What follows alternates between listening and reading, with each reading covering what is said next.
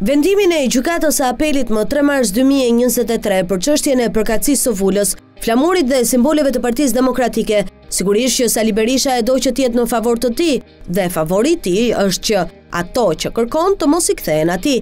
Me pak fjalë Sali Berishës i intereson që ato t'i mbeten Enkelejd Alibeajt, Kjo do të plotësonte dëshirën e fshehtë të tij për të mos marrë pjesë në zgjedhjet vendore më katërmbëdhjetë maj.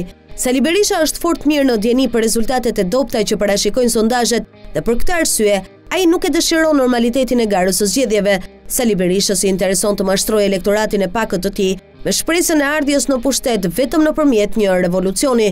Në rast të kundërt, domethënë duke patur vulën, flamurin e siglën e PD-së, Ai nuk do të kishte më asnjë alibi për të justifikuar mosregjistrimin e komisionerëve dhe mospjesëmarrje në zgjedhjet vendore të katërmbëdhjetë majit dy mijë e njëzet e tre. Sali Berisha nuk do as vulë e as sigël PD-je. Sa për flamur, i del e i mjafton Flamur Noka.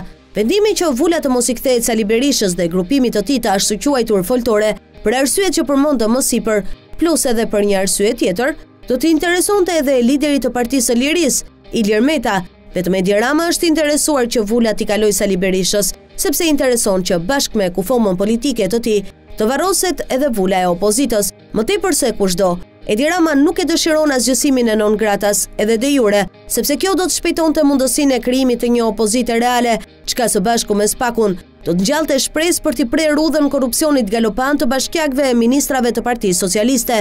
Madje, madje, Vulën e PD-së nuk e do as Alibeaj vetë. Duke shkuar në zgjedhjet e katërmbëdhjetë majit me vulën e simbolet e PD-së, në përfundim të tyre ai do ta ketë më të vështirë të gjejë ndonjë justifikim për humbjen e sigurt të partisë së drejtuar prej tij. Prandaj, lëre se ç'thonë, vulën e PD-së nuk e do më asnjë, as Sali Berisha, as Ilir Meta, madje, siç e shpjeguam, as Enkelejd Alibeaj. Kjo ditë erdhi dhe këtë e solli Sali Berisha.